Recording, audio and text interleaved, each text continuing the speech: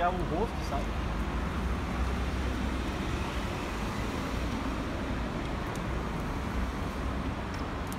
Ai, caralho. Deixa a lua.